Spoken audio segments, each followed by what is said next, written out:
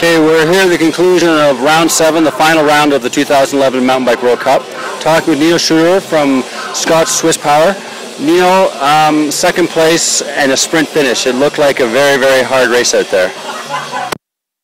Uh, Florian and I did uh, together, and uh, Kulhavy was always playing with us. He he was always in third position. Uh, he, he gave us sometimes five, ten meters, but he, I think he was always playing with us. And then in the end, uh, yeah, he twice attacked me, and uh, yeah, I was able to, to stay this time with him. But uh, he was absolutely strong in the in the sprint finish, and uh, yeah, I have to make some plans for the worlds to, to beat him. He's really strong, and big respect for him.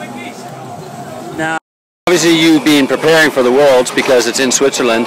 Um, how do you feel about your form? I mean, aside from Kulhavy being so strong, did you feel that your preparation has been going well?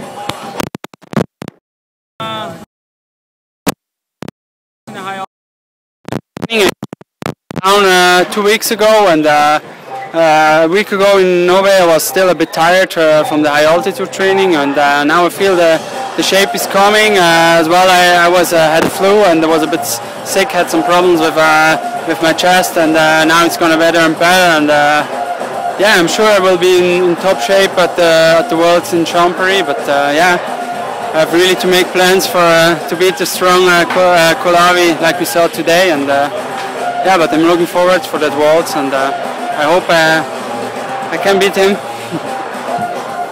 Thank you. I was going to ask you, do you think the whole Swiss team can beat him?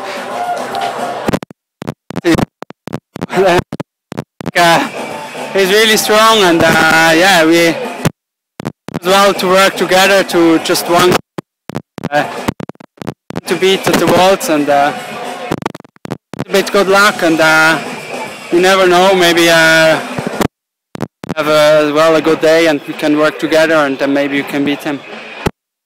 Thank you.